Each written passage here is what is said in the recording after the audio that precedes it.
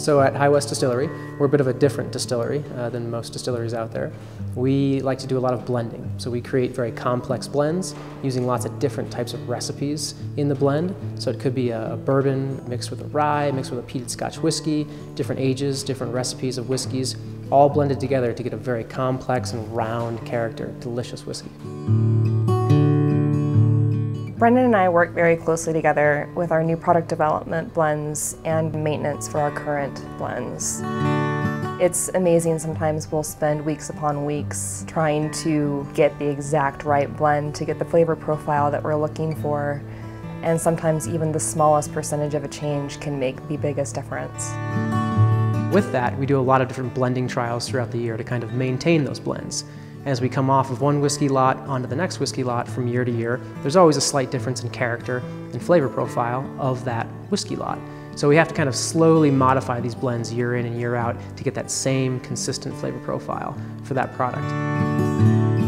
When we're conducting our new blend sensory, whether it's for new product development or blend maintenance of an existing product, we are typically comparing several possible variations of that blend to a control, to the current blend or to the most recent blend in order to determine if our prospective blends are within the range of our desired taste profile. So we have two production facilities at High West. Really it all started in Old Town Park City where we have our 250 gallon uh, Bavarian Holstein copper pot still. It's a beautiful hand-hammered custom copper pot still. That's really where we started all our recipes on. And now it's really transitioned into the R&D still because we've scaled up and we now have a 1500 gallon copper pot still at our distillery in Wanship. So we make a variety of different whiskeys on our production pot still. So our production process here is a very traditional production process in the whiskey world. It starts off in a traditional manner where we bring in the grains, mill those grains, combine them with water, and we create a mash, which is basically the consistency of a very thin oatmeal. And in that mash, we're extracting starches, converting those starches to sugars, and creating a very sweet mash so we can then move into fermentation because in fermentation, the yeast ferments sweet sugars, not starch. All these sugars get fermented, they turn into carbon dioxide and ethanol. The ethanol is obviously what we're interested in. And at the end of that fermentation, which lasts about three days, we have a 7.5 to 8% alcohol by volume beer.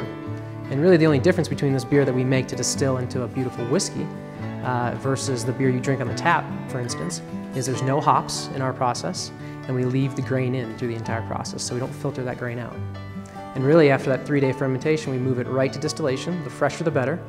And over about a six to eight hour period, we distill that beer into a rye whiskey or bourbon, and then it goes away to maturation for two, 10, 15 plus years, really depending on what blend it's destined for in the end.